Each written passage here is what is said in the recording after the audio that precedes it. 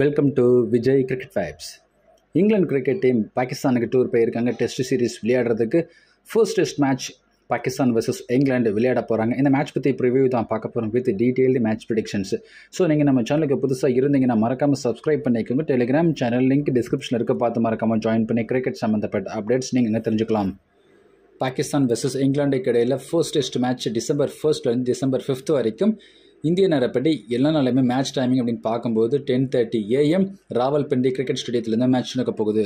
Head to head ரெக்கார்ட்ஸை பொறுத்த வரைக்கும் பாகிஸ்தான் வெர்சஸ் இங்கிலாந்துக்கு இடையில் எயிட்டி ஃபைவ் டெஸ்ட் மேட்ச் நடந்திருக்கு. அதில் பாகிஸ்தான் இருபத்தோரு மேட்சஸ் வின் பண்ணியிருக்காங்க. இங்கிலாண்டை பொறுத்த வரைக்கும் இருபத்தஞ்சு மேட்சஸ் வின் பண்ணியிருக்காங்க. ட்ரான் முப்பத்தொன்பது மேட்ச் ட்ராவ் ஆகிருக்கு Rawalpindi cricket stadium test records பார்க்கும்போது பன்னெண்டு மேட்ச் இருந்திருக்கு. அதில் பேட் ஃபர்ஸ்ட் பண்ண டீம் டூ டைம்ஸ் வின் பண்ணியிருக்காங்க. பவுல் ஃபர்ஸ்ட் பண்ண டீம் சிக்ஸ் டைம்ஸ் வின் பண்ணியிருக்காங்க. ஆவரேஜ் ஃபர்ஸ்ட் இன்னிங்ஸ்க்கு ஒரு three hundred eleven runs second innings அப்படின்னு பார்க்கும்போது three eighty six third innings two fifty two runs fourth innings one seventy three runs respectively பதிவு பண்ணி வச்சிருக்காங்க.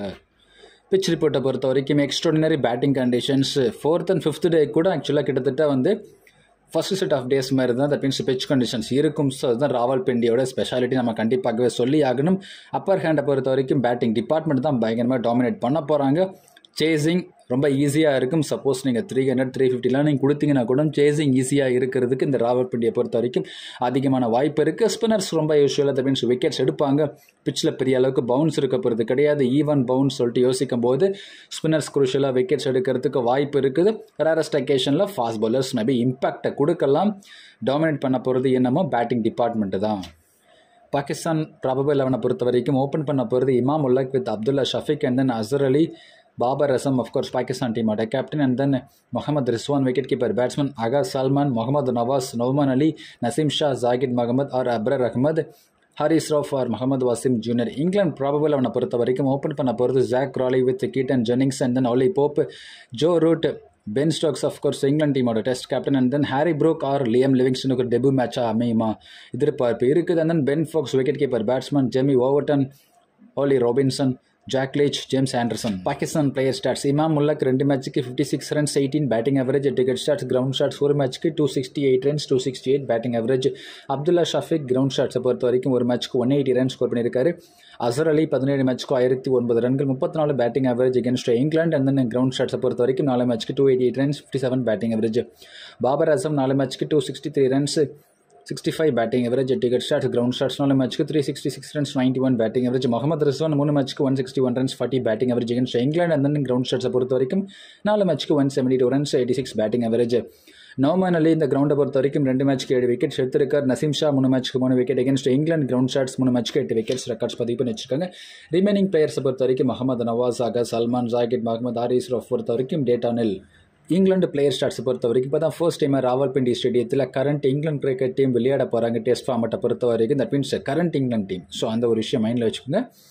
ஜாக் ராலி அப்படின்னு பார்க்கும்போது முந்நூற்றி இருபது ரன்கள் ரெண்டு மேட்ச்க்கு நூற்றி அறுபது batting average ticket stats so head ticket stats மட்டும் தான் ஆக்சுவலாக ரெக்கார்ட்ஸ் இருக்குது. ஸோ கீட்டன் ஜென்னிங்ஸ் ஒரு மேட்ச்க்கு twenty nine runs head ticket stats தான் ஒலி போப் மூணு மேட்ச்க்கு eighty one runs against Pakistan இருபது பேட்டிங் அவரேஜ் ஜோ ரூட் பன்னெண்டு மேட்ச்க்கு ஆயிரத்தி பத்து ரன்கள் ஐம்பத்தாறு பேட்டிங் அவரேஜ் பென் ஸ்டோக்ஸ் ஆறு மேட்ச்க்கு one seventy eight run sixteen batting வச்சு பன்னெண்டு விக்கெட்ஸ் எடுத்திருக்காரு பவுல் பண்ணி ஜெமி ஆண்டர்சன் பதினெட்டு மேட்ச்க்கு எழுபத்தி நாலு விக்கெட் எடுத்திருக்காரு. நாற்பத்தொன்பது strike rate of course remaining players Harry Brook Ben Foakes of course Liam Livingstone Ed debuted and then Jamie O Overton Ollie Robinson Jack Leach இந்த பிளேயர்ஸ்க்கெலாம் வந்து டேட்டா நெல் match predictions with grand league tips அப்படின்னு பார்க்கும்போது இமாம் உல்லக் சூப்பர்பான ஒரு ஃபார்மை எக்ஸிக்யூட் பண்ணிக்கிட்டு இருக்காரு. மேட்ச்க்கு மேட்ச்சு கன்சிஸ்டண்ட்டாக டெஸ்ட் ஃபார்மெட்டை பொறுத்த வரைக்கும் ஸ்கோர்ஸ் எடுத்துகிட்டு வந்துட்டு இருக்காரு. அதற்கு காரணம் அவங்க பிச் கண்டிஷன் சொல்லி தான் ஆகணும். லாகூர் Rawalpindi and then Karachi so இந்த மாதிரி ஸ்டேடியத்திலாம் பேட்டிங்க்கு சொல்லவே தேவையில்ல. தார் ரோடு போட்ட மாதிரி இருக்கும் பிச் கண்டிஷன்ஸ் பொறுத்த வரைக்கும். ஸோ அவ்வளோ ஈவனாக இருக்கும் பிச் ரொம்ப ஃப்ளாட்டாக இருக்கும். ஸோ பேட்டிங்க்கு ரொம்பவே ஈஸியாக இருக்கும். ஸோ அதன் காரணமாக இமாமுல்லக் மாதிரி தட் மீன்ஸ் வந்து இன்ஃபார்ம் பிளேயர்ஸை கண்டிப்பாக எகெயின் நல்ல ஒரு பேட்டிங் ரிதமாக ஷோ பண்ணலாம். கன்சிஸ்டண்டான ஒரு பர்ஃபார்மன்ஸ் டெஸ்ட் ஃபார்மட்டை பொறுத்த வரைக்கும் ரீசெண்ட் டைம்ஸில் இமாம் உள்ள கிட்ட வந்து பார்த்துக்கிட்டு இருக்கோம். So Imam ul Haq as a must pick captain vice கம்ஜாய் செலவு கூட ட்ரை பண்ணி பார்க்கலாம். அப்துல்லா ஷாஃபிக் சூப்பரான ப்ராமிசிங் ஷோ பண்ணியிருக்காரு பிஎஸ்எல்லுமே நல்லா விளையாடினார். டி ட்வெண்ட்டி ஃபார்மெட்டும் நல்லா விளையாடுறாருன்னு பார்த்தா டெஸ்ட் ஃபார்மெட் கொடுத்தாங்க. ஸோ கன்சிஸ்டண்ட்டான ஒரு தட் மீன்ஸ் ரன்ஸை வந்து ஸ்கோர் பண்ணி கொடுத்துருக்காரு ரீசெண்ட் டைம்ஸில் பாகிஸ்தான் டெபு பண்ண மேட்ச்ல இருந்து பார்த்துக்கிட்டு இருக்கேன். நானுமே நல்லா அனலைஸ் பண்ணி பார்க்கும்போது அவரோட அந்த ஃபுட் ஒர்க்காக ஃபுட் ஒர்க்காக இருக்கட்டும் அந்த அவர் அந்த தட் மீன்ஸ் வந்து எவ்ரி பால் அதாவது அவரை தட் மீன்ஸ் பேட்டிங் அப்ரோச்சாக இருக்கட்டும் ஸோ எக்ஸலண்ட்டாக இருக்குது ஆக்சுவலாக வந்து proper test batsman that means எப்படி விளையாடுவாங்களோ ஸோ அந்த அளவுக்கு ஒரு இந்த ஒரு கன்சிஸ்டண்ட்டாக அந்த ஒரு கட்டுக்கோப்பான தட் மீன்ஸ் அந்த இன்னிங்ஸ் பார்க்கும்போது ரொம்பவே அருமையாக இருக்குது. நல்ல டேலண்ட் ஐடென்டிஃபை ஐடென்டிஃபை பண்ணியிருக்காங்க. ஃபியூச்சரிஸ்டிக் ஸ்டார் அப்படின்னு சொல்லிட்டு பார்க்கும்போது கண்டிப்பாகவே ஷஃபீக்கை பொறுத்த வரைக்கும் கண்டிப்பாகவே சொல்லலாம். எஸ்பெஷலி டெஸ்ட் ஃபவுண்ட் அப்படின்னு சொல்லிட்டு பார்க்கும்போது. ஸோ கண்டிப்பாக நல்ல ஒரு வாய்ப்பாக மஸ்ட் பிக்காக செலக்ட் பண்ணி பாருங்கள் கேப்டன் வைஸ்கம் சாய்ஸ் அளவுக்கு இவரும் நம்ம வந்து பரிந்துரைக்கலாம். அசர் அலி அப்படின்னு பார்க்கும்போது பெரிய அளவுக்கு வந்து கன்சிஸ்டண்ட்டாக தட் மீன்ஸ் வந்து ரன்ஸ் எடுத்துகிட்டு வர்றது கிடையாது பிகாஸ் ஆஃப் ஏஜ் ஃபேக்டர் ரொம்ப ஏஜ் ஆகிடுச்சு அது. பட் இருந்தாலும் கிரிக்கெட்டை பொறுத்த வரைக்கும் ஏஜ் ஃபேக்டர் டெஸ்ட் மேட்ச் அப்படின்னு பார்க்கும்போது அந்த ஒரு ஃபார்மெட் பட் தான் விளையாடுறாங்க. ஸோ கன்சிஸ்டண்ட்டாக அந்த ஒரு டிஃபென்சிவ் அப்ரோச் எடுத்துகிட்டு வர முடியும். பட் இருந்தாலும் டிஃப்ரென்ஷியல் பிக்காக தாங்க யோசிக்க தோணுது. இவங்களை விட அஹடா ஷஃபிக் என்ன இமாமுல்லக் யோசிக்க தோணுது. பட் நல்ல ரெக்கார்டு வச்சிருக்காரு எகென்ஸ்ட் இங்கிலாந்து பார்க்கும்போது ஓரளவுக்கு டீசென்ட் ரெக்கார்ட்ஸ் இருக்குது. ஸோ தேர்ட்டி ஃபோர் வச்சிருக்காரு. ஆயிரத்தி ஒன்பது ரன்களுமே ஸ்கோர் பண்ணியிருக்காரு. But differential approach that means concept தாங்க தட் மீன்ஸ் அசர் அலியை பொறுத்த வரைக்கும் யோசிக்க தோணுது. Babar Azam must must pick may go for him அது மட்டும் இல்லாமல் பாபர் அசம் பொறுத்த வரைக்கும் கன்சிஸ்டன்ட் தட் மீன்ஸ் மேட்சஸில் வந்து தட் மீன்ஸ் வந்து பார்ட்டிசிபேட் பண்ணிக்கிட்டு இருக்காரு. பட் வேர்ல்ட் கப்பை பொறுத்த வரைக்கும் பெரிய அளவுக்கு வந்து பர்ஃபார்மன்ஸை கொடுக்கல. ஸ்ட்ரைக் ரேட் இஷ்யூ இருந்துச்சு. பெரிய அளவுக்கு that means Australia condition that means வந்து ஃபாஸ்ட் பாலிங்க்கு ஃபேவர் பண்ணக்கூடிய கண்டிஷன்ஸில் பாபரிசம் அந்த அளவுக்கு சர்வை பண்ணி விளையாட முடியலன்றது உண்மை தான் நம்ம சொல்லி ஆகணும். பட் இருந்தாலும் கண்டிஷன்ஸ் ஹோம் கண்டிஷன்ஸ் யோசிக்கும் போது சப்கான்டினென்ட் கண்டிஷன்ஸ்னாலே பாபரிசம் பொறுத்த வரைக்கும் வேறு லெவலில் விளையாடுவார். ஸோ கண்டிப்பாக Babar Azam again as a must pick may go ஃபாரியும் but கண்டிஷன்ஸை பொறுத்த வரைக்கும் பட் இன்னும் ரெண்டு சீரீஸ் ஆஸ்திரேலியாவில் பாபா ரசம் விளையாடினார்னா அவரும் அந்த ரிதம் எப்படி எடுத்துகிட்டு வர முடியும் ஆக்சுவலாக வந்து? ஸோ கண்டிப்பாக பாபா ரசம் பொறுத்த வரைக்கும் அவங்க டீமோட one of the star player அதில் எந்த விதமான சந்தேகமும் கிடையாது. நல்ல டேலண்ட் இருக்குது அதில் எந்த விதமான டவுட்டும் கிடையவே கிடையாது. ஸோ பாபா ரசம் இந்த மேட்சை பொறுத்த வரைக்கும் again as a must pick may go for வரைக்கும் இவரும் கேப்டன் வைஸ் கம் சைஸ் அளவுக்கு நீங்கள் ட்ரை பண்ணி பார்க்கலாம். Mohammad Rizwan wicket keeping option கண்டிப்பாகவே குரூஷலாக இருக்கும். நல்ல பேட்டிங் ரிதம் இருக்குது. ஆக்சுவலாக இவரை பொறுத்த வரைக்கும் ஷாட்டுக்கு போனால் தான் விக்கெட்டை பறி கொடுக்குறாரே தவிர பட் அவ்வளோ சீக்கிரம் வந்து ஷாட்டுக்கு போகாமல் பொறுமையாக விளையாடினார்னா தட் மீன்ஸ் லாங் ரன் எடுத்துகிட்டு வர முடியும்னு சொல்லிட்டு அந்த ஒரு மைண்ட் செட்டை ஃபிக்ஸ் பண்ணிட்டாருன்னா ரிசோனை பொறுத்த வரைக்கும் அவுட் ஆகிறது ரொம்பவே கஷ்டம். பட் அந்த outside the off stump line that means கன்சிஸ்டண்ட்டாக வச்சிங்கன்னா டெஸ்ட் மேட்சை பொறுத்த வரைக்கும் அந்த லைன் தான் க்ரூஷியல் அதுதான் வந்து டெஸ்ட் மேட்ச் பவுலர்ஸ் பொறுத்த வரைக்கும் எக்ஸிக்யூட் பண்ணிக்கிட்டே இருப்பாங்க கன்சிஸ்டண்ட்டாக அதில் ஏதாச்சும் ஒரு ரீஜன் கேட்ச் ஆகிறதுக்கு வாய்ப்பு இருக்குது முகமது ரிசோனை பொறுத்த வரைக்கும். இது ஒரு மிகப்பெரிய மைனஸாக பார்க்கலாம் ரிசோனை பொறுத்த வரைக்கும் பிகாஸ் லெக் சைட் தான் ஷாட்டுக்கு ட்ரை பண்ணுறாரு அதுதான் நம்ம வந்து நிறைய ஃபார்மெட் தட் மீன்ஸ் மூணு ஃபார்மெட்டுமே பார்த்துருக்கேன். பட் டெஸ்ட் மேட்சை பொறுத்த வரைக்கும் அந்த லேர்னிங் ஃபேஸ் அப்படின்னு பார்க்கும்போது அந்த ஃபேஸ் தான் கிட்டத்தட்ட இருக்காரு. பட் டி ட்வெண்ட்டி ஐம்பது ஓவர் ஃபார்மெட்டை பொறுத்த வரைக்கும் தன்னை நிலைநிறுத்திக்கிட்டாரு பட் இருந்தாலும் டெஸ்ட் மேட்சை பொறுத்த வரைக்கும் அந்த ரிதம் எடுத்துகிட்டு வரணும். அந்த outside the off stump line means fourth stump line அந்த ஃபிஃப்த் ஸ்டம்ப் லைன் லைன்லாம் கரெக்டாக ப்ராப்பராக வந்து மீன்ஸ் வந்து டிஃபென்ஸ் அப்ரோச் தட் மீன்ஸ் எடுத்துகிட்டு வரணும். தேர்ட் மன் ரீஜன் அதிகமாக ஆடணும். ஸோ ஆக்சுவலாக விட்டு கிடச்சா மட்டும்தான் ஆஃப் சைடில் கட் பண்ணுற மீன்ஸ் வந்து அப்படின்னு யோசிக்கக்கூடாது. பட் அதே நேரத்தில் அந்த fourth stump line fifth stump line outside the off stump line so அந்த லைன் அண்ட் லென்த்தாக வந்து கரெக்டாக வரும்போது ரிஸ்வான் மேபி கொஞ்சம் ட்ரபுளாக ஃபீல் பண்ணுவாரோ அப்படிங்க தோணுது. பட் இருந்தாலும் ரிஸ்வானை பொறுத்த வரைக்கும் பேட்டிங் கண்டிஷன்ஸ் ஃபார் பர்ஃபெக்டாக பேட்டிங் கண்டிஷன்ஸ் யோசிக்கும் போது சார் கண்டிப்பாக முகமது ரிஸ்வான் மாஸ்ட் பிக் அளவுக்கு தாங்க யோசிக்க தோணுது. விக்கெட் கீப்பிங் ஆப்ஷன் பார்க்கும்போது எப்பவுமே டெஸ்ட் மேட்சஸில் எக்ஸ்ட்ரா பாயிண்ட்ஸ் எடுத்து கொடுப்பாங்க. அகர் சல்மான் கண்டிப்பாகவே நல்ல ஒரு promising find that means number six பொசிஷனுக்கு சூப்பராக சூட் ஆகுவார். ஒரு off break bowler that means அந்த ஒரு ஆப்ஷனுமே இவர்கிட்ட இருந்து எடுத்துகிட்டு வரலாம். டிஃப்ரென்ஷியல் பிக்காக பார்க்க தோணுது. பட் இங்கிலீஷ் பவுலர்ஸுமே ஓரளவுக்கு நல்ல லைன் அண்ட் லென்த்தில் போடக்கூடிய பவுலர்ஸ் தான். பட் இருந்தாலும் பெரிய அளவுக்கு எக்ஸ்பீரியன்ஸ் கிடையாது எக்ஸப்ட் ஜேம்ஸ் ஆண்டர்சன் தவிர மற்றபடி ஜாக்லீச் அஃப்கோர்ஸ் சப்கான்டினென்ட் கண்டிஷன்ஸில் நல்லா பவுல் பண்ண முடியும்.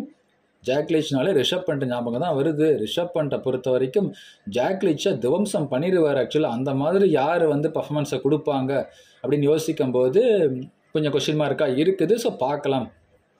அப்படி நீங்கள் அது தட் மீன்ஸ் லீக்கை லீச்சை பொறுத்த வரைக்கும் நீங்கள் வந்து செட்டில் ஆக விட்டிங்கன்னா லீச் பொறுத்த வரைக்கும் கன்சிஸ்டண்ட்டாக தட் மீன்ஸ் அந்த ஒரே ஏரியாஸில் வச்சு தட் மீன்ஸ் வந்து விக்கெட்ஸ் எடுத்து கொடுத்துட்டு போயிட்டே இருப்பார்.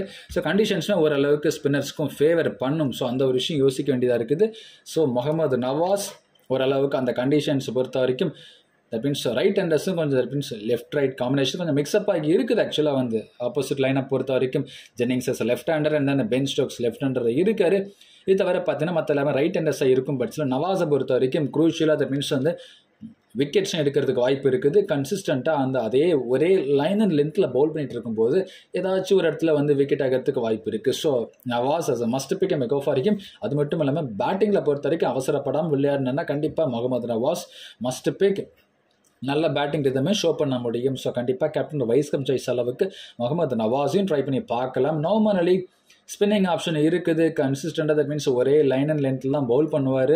பட் பேட்டிங்கே ஓரளவுக்கு டீசெண்டான கான்ட்ரிபியூஷன்ஸ் கொடுக்க முடியும். பட் ஆக்சுவலாக ப்ராமிசிங் ஸ்பின்னரானு கேட்டிங்கன்னா அதில் கொஞ்சம் கொஷின் மார்க்கை தான் நான் கொடுப்பேன். பட் அந்தளவுக்கு கன்சிஸ்டண்டாக விக்கெட்ஸ் எடுத்தது கிடையாது. பட் இருந்தாலும் வேறு ஸ்பின்னிங் ஆப்ஷனே இல்லை அப்படின்னு யோசிக்கும் போது தான் அவங்க நோமன் அலிக்கு போகிறாங்க ஸோ அது கொஞ்சம் ஒரிங்காக தான் இருக்குது பாகிஸ்தானை பொறுத்த வரைக்கும்.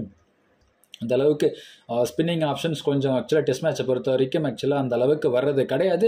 லெக் ஸ்பின் ஆப்ஷன் யோசிக்கும் போது ஓரளவுக்கு இருக்காங்க அஃப்கோர்ஸ் இப்போ ரீசெண்டாக ஐடென்டிஃபை பண்ணியிருக்கிற அப்ரர் அஹமத் அப்படின்னு பார்த்தீங்கன்னா நல்லா கன்சிஸ்டண்ட்டாக விக்கெட்ஸ் எடுத்து கொடுத்துருக்கிற டொமஸ்டிக்கை பொறுத்த வரைக்கும் நல்லா எக்கனாமிக்கலாக பவுல் பண்ணுறது மட்டும் அஃப்கோர்ஸ் டெஸ்ட் மேட்ச்சில் எக்கனாமிக்கல் முக்கியம் இல்லை பட் இருந்தாலும் அந்த விக்கெட் டேக்கிங் எபிலிட்டி பார்க்கும்போது அப்ரர் அஹமத் கொஞ்சம் அதிகமாக இருக்குது. லெக் ஸ்பின் ஆப்ஷன் அதே மாதிரி ஜாகிர் முகமதும் ஓரளவுக்கு லெக் ஸ்பின் ஆப்ஷன் ரெண்டு பேருமே இன்னும் ஆக்சுவலாக டெபியூ பண்ணது கிடையாது. இந்த மேட்சை பொறுத்த வரைக்கும் யாருக்காச்சும் ஒருத்தவங்களுக்கு வாய்ப்பு கிடைக்கும்ன்ற எதிர்பார்ப்பு இருக்குது. நவமனல் எப்படின்னு பார்க்கும்போது அந்த ஓரளவுக்கு அந்த பவுலிங் ஆல்ரவுண்ட் ஆப்ஷன் ஆப்ஷன் யோசிக்கும் போது நவமன் ஓரளவுக்கு மஸ்ட் பிக் அளவுக்கு தான் யோசிக்க அதாவது அவர் கிட்டத்தட்ட ஐம்பது ஓவர் பவுல் பண்ணாலும் சரி ரெண்டு மூணு விக்கெட் எடுத்தாலே போதும். ஸோ அதாவது பர் இன்னிங்ஸ் ரெண்டு மூணு விக்கெட் எடுக்கும் பட்சத்தில் அதே ஓரளவுக்கு அந்த ட்ரீம் டீமில் வர்றதுக்கான வாய்ப்பாக வந்து இருக்கலாம் ஸோ அப்படி தான் அந்த ஒரு கான்செப்டை தான் நான் யோசிக்கிறேன் தவிர பட் ஆக்சுவலாக வந்து ஒரு ப்ராமிசிங் தட் மீன்ஸ் அந்த ஒரு டெஸ்ட் மேட்ச் லைன் அண்ட் லென்த்தை கரெக்டாக பவுல் பண்ணிட்டு that means spinning option that means ஸ்பின்னர்ஸ்க்கு favour பண்ணுற கண்டிஷன்ஸ் இருந்தாலும் நார்மலி எந்த அளவுக்கு வந்து கன்சிஸ்டண்டாக அந்த விக்கெட்ஸ் எடுப்பார் அப்படிங்கிறது கொஞ்சம் ப்ராமிசிங் ஆக்சுவலாக ஷோ பண்ணுறதுக்கு கொஞ்சம் தவறிட்டார். பட் இருந்தாலும் நவமலையை நிலையை பொறுத்த வரைக்கும் அந்த ஸ்பின்னிங் ஆப்ஷன் இருக்குன்னு யோசிக்கும் போது தான் நம்ம வந்து கண்டிப்பாக மஸ்ட் பிக் அளவுக்கு யோசிக்க தோணுது. ஆக்சுவலாக வந்து நான் சொல்கிற டிஃப்ரென்ஸ் உங்களுக்கு புரியும் நினைக்கிறேன். ஆக்சுவலாக நசீம் ஷா பொறுத்த வரைக்கும் ப்ராமிசிங் ஃபைண்டு நல்ல யங்ஸ்டர் பதினெட்டு வயசு தான் ஆகுது. அதுக்கு முன்னாடி ஆக்சுவலாக பதிமூணு test matches if I am not wrong actually ஆக்சுவலாக விளையாடிட்டாரு. ஓரளவுக்கு ப்ராமிசிங் ஷோ பண்ணியிருக்க டெஸ்ட் மேட்சை பொறுத்த வரைக்கும் சேம் லைன் அண்ட் லென்த்தை கீப் பண்ணி பவுல் பண்ணும்போது ஆக்சுவலாக டி ட்வெண்ட்டி வேர்ல்ட் கப் அந்த ஒரு ஓவர் எல்லாருக்குமே ஞாபகம் இருக்கும். ரெண்டு பால் பீட்டு ஆனார் பட் நாலு பாலில் பட்லரால் ஒன்றுமே பண்ண முடியல. ஸோ அந்தளவுக்கு ஒரு பவர்ஃபுல்லாக ஒரு இம்பேக்டை கொடுத்தாரு. ஸோ நசிம் ஷா பொறுத்த வரைக்கும் அதே மாதிரி ஒரு லைன் அண்ட் லென்த் தான் ஆக்சுவலாக இங்கே பொறுத்த வரைக்கும் ராவல் பிண்டிலையும் வைப்பார்.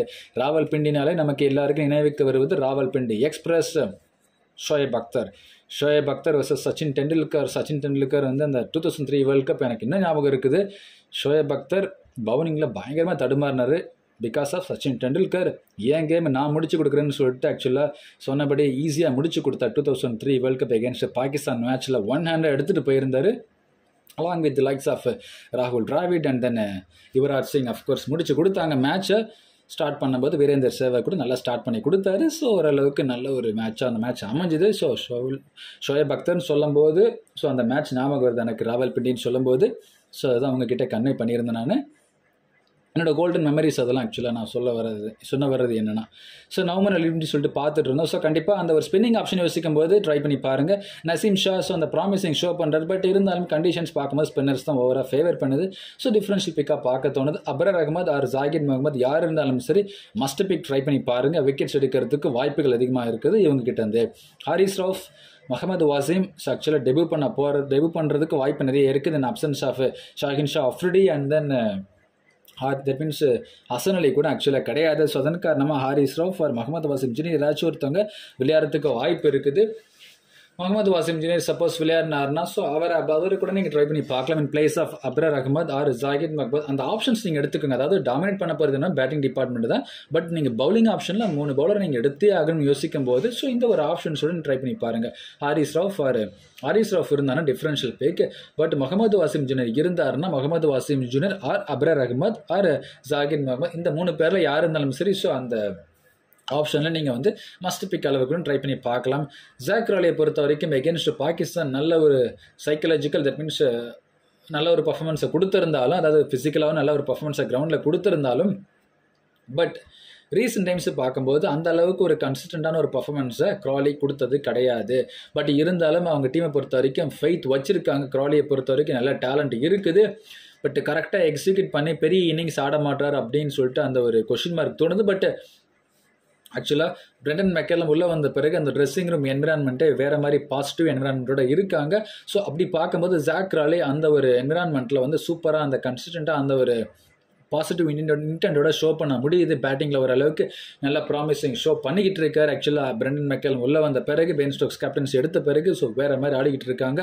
ஸோ கண்டிப்பாக ஜாக்ராலி அது மட்டும் இல்லாமல் சைக்கலாஜிக்கலாக பாகிஸ்தானுக்கு தான் அவரோட ஹையஸ்ட் ஸ்கோரே இருக்குது. Two sixty one two sixty seven runs of course if I am not wrong actually so அந்த ஒரு யோஸ் அந்த ஒரு யோசனை யோசிக்கும் போது கண்டிப்பாக Zak Crawley as a must pick may கோஃபாரிக்கும் vice captain choice அளவுக்கும் ட்ரை பண்ணி பார்க்கலாம். கேச்சிங் பிளேஸில் நிற்கிறாருங்க ஆக்சுவலாக வந்து third slip second slip that means in absence of Bairstow பார்க்கும்போது அப்படியே செகண்ட் ஸ்லிப் நிற்கிறதுக்கும் வாய்ப்பு இருக்குது யூஸ்வலாக தேர்ட் ஸ்லிப்பில் நிற்பார் இல்லை செகண்ட் ஸ்லிப்பில் நிற்பார் ஸோ கண்டிப்பாக அந்த கேச்சிங் பிளேஸில் நிற்கும் போது Zak Crawley as a must pick may கோஃபாரிக்கும் but Pakistani கண்டிஷன்ஸில் என்ன செகண்ட் ஸ்லிப் தேர்ட் ஸ்லிப் சொல்லிட்டு யோசிக்கிறீங்களா? பட் என்னதான் இருந்தாலும் அந்த இனிஷியல் ஃபாஸ்ட் பாலர்ஸ்க்கு கொஞ்சம் ஆக்சுவலாக வந்து அங்கங்கே ஏதாச்சும் மூமெண்ட் இருக்கும் அதில்.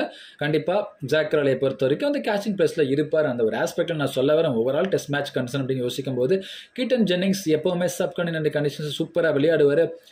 ஃபார் எக்ஸாம்பிள் ஸ்ரீலங்காலையும் நல்லா விளையாடி இருக்கார் around forty six if not rank actually average பார்த்தீங்கன்னா தென் இந்தியாவுக்கு uh, எதிராக தட் மீன்ஸ் இந்தியாலேயும் இந்தியாவுக்கு எதிராகவே வந்து பார்த்தீங்கன்னா நல்ல ரெக்கார்டு வச்சிருக்காரு. ஸோ அதான் நான் சொல்ல வரேன். இந்தியாலையும் ஸ்ரீலங்காலையும் நல்ல ரெக்கார்டு வச்சிருக்கிற ஒரு தட் மீன்ஸ் ஒரு பேட்ஸ்மேன் ஒரு English batsman Pakistani bats that means Pakistan கண்டிஷன்ஸில் இன்னும் நல்லா விளையாட முடியும் ஆக்சுவலாக அந்த கண்டிஷன்ஸ் இன்னும் ஆக்சுவலாக பேட்டிங் ரொம்பவே சூப்பராக இருக்குது இந்தியா கண்டிஷன்ஸ் என்ன ஸ்ரீலங்கா கண்டிஷன்ஸை விட பாகிஸ்தானில் பெட்டராக இருக்கும் பேட்டிங்க்கு ஸோ அந்த ஒரு விஷயம் யோசிக்கும் போது கண்டிப்பாக கீட்டன் ஜென்னிங்ஸ் நல்ல ஒரு டிஸ்பிளே ஷோ பண்ணலாம். கேப்டன் வைஸ்கம் சாய்ஸ் அளவுக்கு நீங்கள் ரிஸ்க் சாய்ஸை கூட நீங்கள் கீட்டன் ஜென்னிங்ஸ் ட்ரை பண்ணி பார்க்கலாம். சமீபத்தில் நடந்த கவுண்டி மேட்சஸ்லாம் கூட எல்லா மேட்சுமே நல்ல ஒரு கன்ஸ்டன்டான ஒரு பர்ஃபார்மன்ஸை கொடுத்துருக்காரு.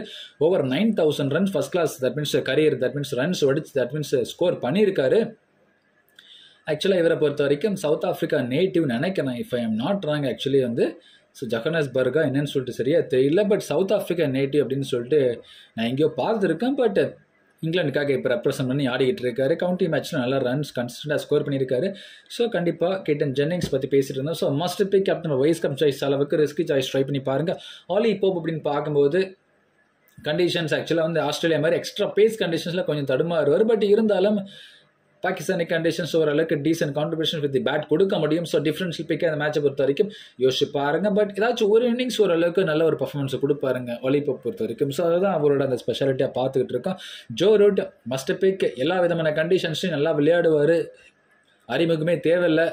இவர் தடுமாறுறது என்ன? ஒரே ஒரு கண்டிஷன்ஸ்னால் கொஞ்சம் எக்ஸ்ட்ரா பவுன்ஸ் இருந்துச்சு அந்த மீன்ஸ் பர்த் மெல்பர்ன் பிரிஸ்பென் இந்த மாதிரி கண்டிஷன்ஸில் ஜோரூட் கொஞ்சம் ஸ்ட்ரகிளாக ஃபீல் பண்ணுவார். ஸோ அந்த எக்ஸ்ட்ரா பவுன்ஸ் இருக்கும்போது ஜோ ரூட் கொஞ்சம் ஸ்ட்ரகிளாக ஃபீல் பண்ணியிருக்காரு. பட் மற்றபடி ஓரளவுக்கு ஈவன் பவுன்ஸ் அதே நேரத்தில் ஈவன் ஃபாஸ்ட் பவுலிங் ஃபேவர் பண்ணக்கூடிய கண்டிஷன்ஸ்லேயும் ஆடி இருக்க நல்ல ரெக்கார்ட்ஸ் இருக்குது இல்லைன்னு சொல்ல வரல பட் ஆக்சுவலாக எக்ஸ்ட்ரா பவுன்ஸ் அதாவது பெர்த் பிரிஸ்பன் மெல்பர்ன் ஸோ இந்த மாதிரி கண்டிஷன் எக்ஸ்ட்ரா பவுன்ஸ் இருக்கும்போது அங்கே கண்டிஷன்ஸில் ஓரளவுக்கு கொஞ்சம் ஸ்ட்ரகிளாக ஃபீல் பண்ணியிருக்காரு சப். கான்டினென்ட்னாலே சொல்லவே தேவையில்ல.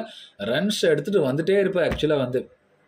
கன்சிஸ்டண்ட்டாக பெரிய இன்னிங்ஸ் ஆடுவாருங்க. அதுதான் ஜோரூட்டோட ஸ்பெஷாலிட்டி ஆக்சுவலாக கொஞ்சம் அவரை நீங்கள் வந்து செட் ஆக விட்டிங்கன்னா அதுக்கப்புறம் பெரிய இன்னிங்ஸ் எடுத்துகிட்டு போயிட்டே இருப்பார். ஸோ அந்த அளவுக்கு ஒரு ஸ்பெஷாலிட்டியான ஒரு பிளேயராக பார்க்கலாம். Joe Root as a must pick captain vice captain choice இந்த மேட்சை பொறுத்த வரைக்கும் பவுல் பண்ணுறதுக்கும் வாய்ப்பு இருக்குது பாகிஸ்தானி கண்டிஷன் ஸ்பின்னர்ஸ்க்கு ஃபேவர் பண்ணும். ஸோ கண்டிப்பாக ஜோரூட் ஆல்ரவுண்ட் ஆப்ஷனை ஷோ பண்ணுறதுக்கு வாய்ப்பு இருக்குது இந்த மேட்ச் பொறுத்த வரைக்கும் ஒரு பேட்டிங் ஆல்ரவுண்டராக கூட ஆக்சுவலாக ஜோரூட் விளையாடுறதுக்கு வாய்ப்பு இருக்குது சென்னை டெஸ்ட் நினைவில் இருக்கும் எல்லாருக்குமே Joe Root batting and then பவுலிங்லேயும் அஞ்சு விக்கெட் வேறு எடுத்திருந்தாரு. ஸோ அந்த மாதிரி ஒரு பர்ஃபார்மன்ஸை வந்து அஞ்சு விக்கெட் எடுப்பார் அப்படின்னு சொல்லிட்டு அதில் ஒரு அதில் ஒரு கொஷின் மார்க் இருக்குது பட் இருந்தாலும் பவுலிங் ஆப்ஷன் எக்ஸ்ட்ராவாக வந்து இவருக்கு இந்த மேட்ச் பொறுத்த வரைக்கும் அதிகமாக கொடுக்கறதுக்கு வாய்ப்புகள் நிறையா இருக்குது. ஸோ அதனால் Joe Root must pick captain vice cum try பண்ணி பாருங்கள் பென் ஸ்டோக்ஸை பொறுத்த வரைக்கும் கண்டிப்பாக மஸ்ட் பிக் ட்ரை பண்ணி பாருங்கள் பவுலிங் ஆப்ஷன் எந்த அளவுக்கு கரெக்டாக எக்ஸிக்யூட் பண்ணி விக்கெட்ஸ் எடுப்பார். தட் மீன்ஸ் இந்த கண்டிஷன்ஸை பொறுத்து அப்படின்னு யோசிக்கும் போது கொஞ்சம் கொஷின் மார்க் இருக்குது பட் இருந்தாலும் ஆல்ரவுண்ட் ஆப்ஷன் நல்ல பேட்டிங் ரிதமில் இருக்கார்.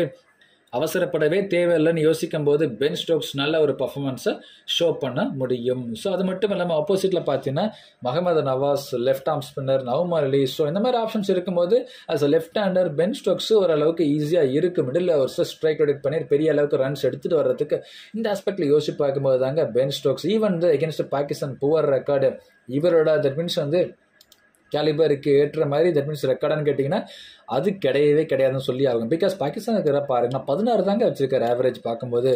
ஸோ அதெல்லாம் யோசித்து பார்க்கும்போது பென் ஸ்டோக்ஸ் பெரிய அளவுக்கு ஸ்கோர் பண்ண மாட்டார்னா யோசிக்காதீங்க. ஸோ எல்லாமே கண்டிஷன்ஸ் நல்லா இருக்குது. ஸோ அதனால் யோசிச்சு பார்க்கும்போது பென் ஸ்டோக்ஸ் ஒரு சில ஆஸ்பெக்டில் தட் மீன்ஸ் மிடில் ஓவர்ஸில் ஸ்பின்னர்ஸ் பவுல் பண்ணும் பட்சத்தில் இவருக்கு ஈஸியான தட் மீன்ஸ் ஸ்பின்னர்ஸாக தான் இருக்குது அங்கே பாகிஸ்தான் சைடை பொறுத்த வரைக்கும். அதனால் பென் ஸ்டோக்ஸ் நல்ல ஒரு பர்ஃபார்மன்ஸை ஷோ பண்ணுறதுக்கு வாய்ப்பு இருக்குது. So as a must pick may go for him Harry Brook or Livingstone யார் இருந்தாலும் சரி must pick Brook and Livingstone பாகிஸ்தானில் நல்ல ரெக்கார்டு வச்சுருக்காங்க. ஏகப்பட்ட மேட்சஸ் ஆடி இருக்காங்க குறிப்பாக ப்ரூக்ஸ் வந்து பிஎஸ்எல்லுமே வந்து கன்சிஸ்டண்ட்டாக ரன் ஸ்கோர் எடுத்துகிட்டு வந்திருக்காரு. அது மட்டும் இல்லாமல் சமீபத்தில் நடந்த வேர்ல்ட் கப்புக்கு முன்னாடி ஆக்சுவலாக வந்து இங்கே ஒரு டி ட்வெண்ட்டி சீரிஸ் கூட ஆடினாங்க. ஸோ அதில் பொறுத்த வரைக்கும் லிமிடெட் ஓவர்ஸ் ஃபார்மேட்டில் எல்லா மேட்சுமே ரன்ஸ் ஸ்கோர் பண்ணியிருக்காரு. ஸோ ப்ரூக்ஸ் அப்படின்னு ப்ரூக்கை பொறுத்த வரைக்கும் ஸோ கண்டிப்பாக Harry Brook or Livin Livingstone லிவிங்ஸ்டனுக்கு இந்த மேட்ச் தட் மீன்ஸ் இந்த சீரீஸை பொறுத்த வரைக்கும் டெபு சீரீஸாக அமையறதுக்கு வாய்ப்பு இருக்குது. பிகாஸ் இவர்கிட்ட அந்த ஸ்பின்னிங் ஆப்ஷன் இருக்குது that means leg break off break ரெண்டுத்துமே வந்து மாற்றி மாற்றி பவுல் பண்ண முடியும்னு யோசிக்கும் போது லிவிங்ஸ்டனுக்கு நல்ல ஒரு வாய்ப்பாக இருக்கிறதுக்கு நிறைய சான்சஸ் இருக்குது. In absence of Jonny Bairstow so அந்த ஒரு விஷயம் யோசிக்கும் போது லீம் லிவிங்ஸ்டன் குரூஷியலாக விக்கெட்ஸும் எடுத்து பேட்டிங்லேயுமே வந்து நல்ல ஒரு பர்ஃபார்மன்ஸாக ஷோ பண்ண முடியும். அக்ரெசிவ் லிவிங்ஸ்டன் எப்படி டிஃபென்சிவ் லிவிங்ஸ்டோனாக வந்து கன்சிஸ்டண்டான ஒரு பர்ஃபார்மன்ஸை இனி வரும் காலங்களில் கொடுக்க போகிறார் டெஸ்ட் மாமட் அப்படின்னு யோசிக்கும் போது கொஞ்சம் தட் மீன்ஸ் ரொம்ப வந்து ரொம்பவே வந்து ஈகராக இருக்குது ஆக்சுவலாக லிவிங்ஸ்டனோட அந்த ஒரு பர்ஃபார்மன்ஸ் தட் மீன்ஸ் அந்த ஒரு அப்ரோச் எப்படி இருக்க போகுது அப்படின்னு யோசிக்கும் போது கண்டிப்பாக நல்லா இருந்துச்சுன்னா பாசிட்டிவான விஷயமா இருக்கும். பிகாஸ் இந்த positive brand of cricket England விளையாட்டு இருக்காங்க. லிவிங்ஸ்டனும் அந்த டெஸ்ட் ஃபார்மெட்டில் கொஞ்சம் செட் ஆகிட்டாருன்னா ரொம்பவே அருமையாக இருக்குது அவங்க டீமை பொறுத்த வரைக்கும்.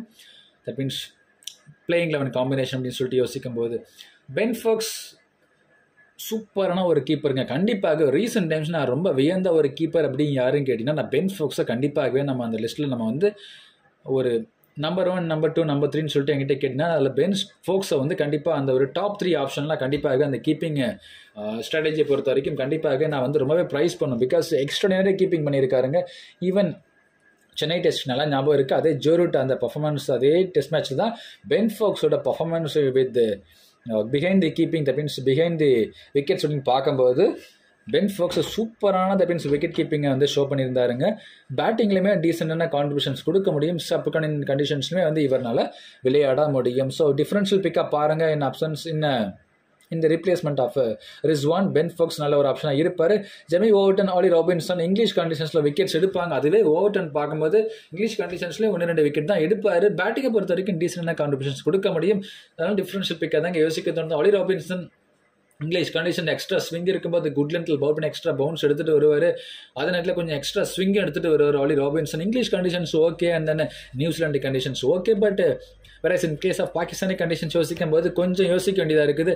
அதனால டிஃபரன்ஷியல் பிக்காக தாங்க தட் மீன்ஸ் ஆலி ராபின்சனை பொறுத்த வரைக்கும் யோசிக்க தோணுது. ஜாக் லைச் அப்படின்னு பார்க்கும்போது கண்டிப்பாக must pick spin friendly conditions with upper hand of batting department அப்படின்னு யோசிக்கும் போது ஜாக்லிச் கண்டிப்பாகவே மஸ்ட் பிக் கிட்டத்தட்ட எப்படியும் ஒரு முப்பதுலேருந்து நாற்பது ஓவர் பவுல் பண்ண போகிறாரு அதில் மூணு நாலு விக்கெட் எப்படியும் எடுக்க போகிறாரு ஸோ அதில் ரிஷப் பண்ணிட்ட மாதிரி ஒரு இன்னிங்ஸை வந்து ஜாக்லிச்சை அட்டாக் பண்ணுறதுக்கு யார் வருவார் அப்படின்னு சொல்லிட்டு யோசிக்கும் போது கொஞ்சம் பார்க்கணும் ஆக்சுவலாக வந்து ரொம்ப சர்ப்ரைசிங்காக இருக்க போது யார் அந்த ஒரு இன்னிங்ஸ் அது மீன்ஸ் ஜாக்லீச்சோட அவர் தான் ஆக்சுவலாக வந்து த்ரெட்டனிங் போலராக மேபி அந்த ஒரு ஸ்பின்னிங் ஆப்ஷன் யோசிக்கும் போது இருக்க போகிறாரு பட் இருந்தாலும் யார் வந்து அந்த ஆப்ஷன் எடுத்து ஜாக்லீச்சை வந்து செட்டில் ஆக விடாமல் அதை மீன்ஸ் வந்து அட்டாக் பண்ண போகிறாங்க அப்படின்னு சொல்லிட்டு யோசிக்கும் போது ரொம்ப வந்து ஈகராக இருக்குது. ஸோ இந்த டெஸ்ட் மேட்சை பொறுத்த வரைக்கும் நான் ரொம்ப ஈகராக அப்ரோச் பண்ணிக்கிட்டு இருக்கேன்.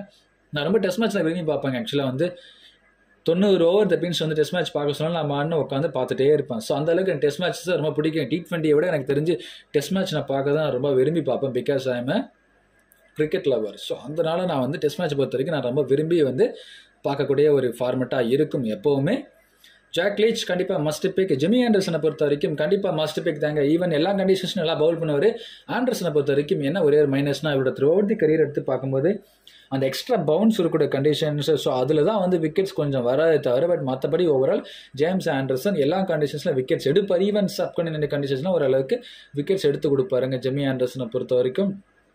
இருந்தாலும் ஒரு சேஃபர் ஆஸ்பெக்டில் பவுலரில் யாராச்சும் ஒரு மூணு பவுலர் எடுத்தாகணும் இல்லைங்களா?